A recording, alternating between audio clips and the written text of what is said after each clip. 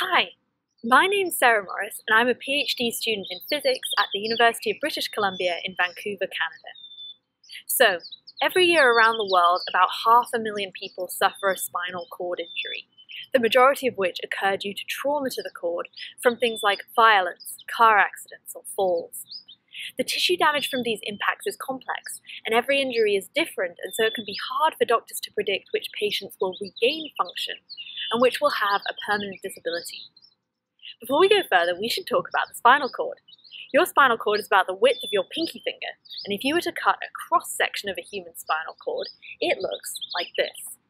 In the middle is grey matter, which is shaped a bit like a butterfly, and surrounding it is white matter, the white matter is composed of nerve fibers, which carry signals from the brain to the body and back again. Surrounding each fiber is myelin, shown in green here, which is a protective, insulating layer of fatty tissue. Myelin is gradually lost after a spinal cord injury as the tissue breaks down, and this can contribute to disability. If we could image this myelin loss in the cord over time, it would be very valuable for clinical trials to track whether new treatments for spinal cord injury are working, and it might help us predict what level of recovery is possible for individual patients. Here is a standard MRI of a spinal cord injury, and you might be able to see a faintly brighter region which extends from the point of the injury up and down the cord. This brightness is definitely tissue damage, but it could be caused by many things. Both loss of myelin and, for example, more water in the tissue look bright on this kind of standard MRI scan. So we need a scan which is more specific.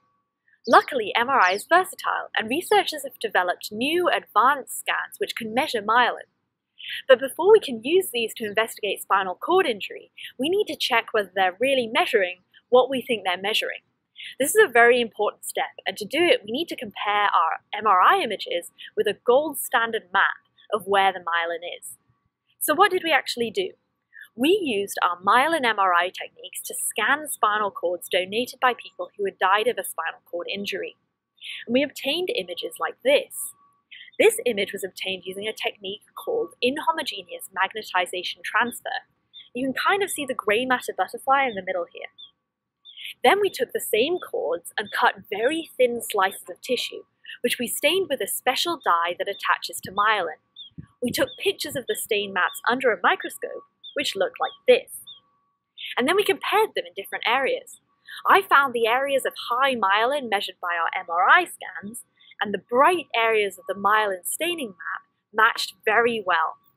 Ultimately, we believe advanced myelin MRI could be an extremely valuable tool to see inside the spinal cord and measure myelin loss for doctors, for clinical trials, and for people living with spinal cord injury.